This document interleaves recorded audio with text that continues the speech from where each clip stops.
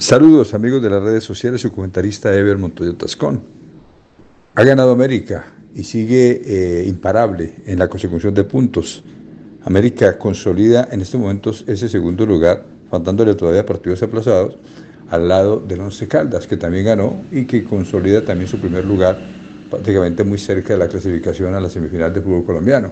América le está asegurando y le está asegurando eh, mm, jugando bien. Eh, no fue el gran partido frente a Alianza, porque el equipo eh, aliancista, después del minuto 5 días en donde América tuvo por una posibilidad muy clara a través de Zapata, salió a jugar el partido la América a la mitad de la cancha y le peleó el compromiso.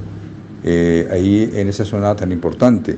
América arrancó con Graterol, los laterales fueron Castrillón y Velasco los centrales eh, Mosquera y Balanta, que está de fútbol de central, el medio campo tuvo a Leis, acompañado allí en ese sector en el trabajo de recuperación del conjunto americano, con Zapata, que también estuvo ahí ayudando en ese trabajo de marca.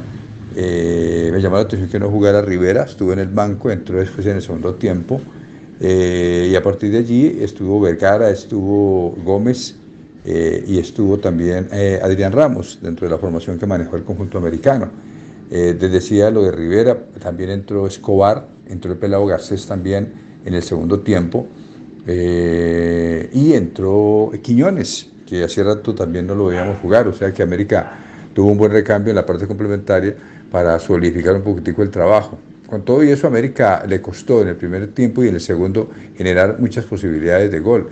También Alianza, de todas maneras, eh, Graterol estuvo muy atento en algunas acciones del conjunto local.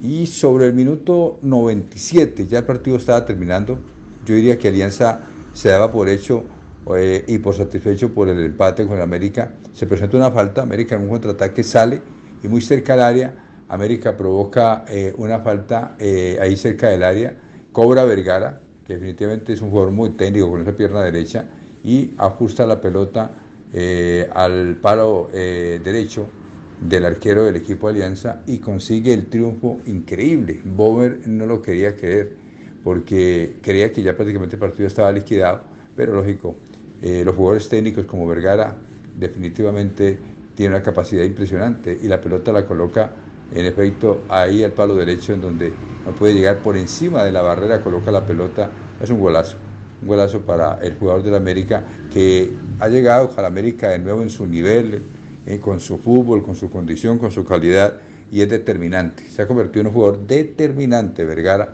en todas las victorias del conjunto americano.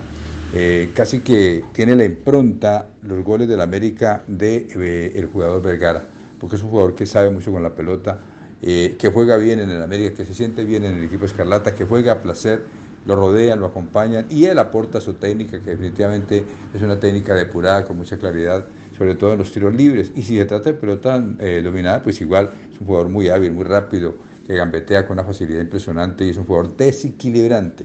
Eso es un jugador que gana partidos. Vergara es un jugador que gana partidos y gana títulos, o si no, repasemos los títulos del conjunto americano últimamente.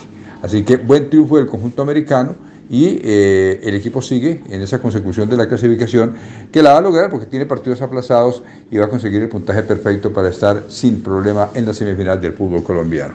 un, un abrazo amigos de las redes sociales y que la pasen bien.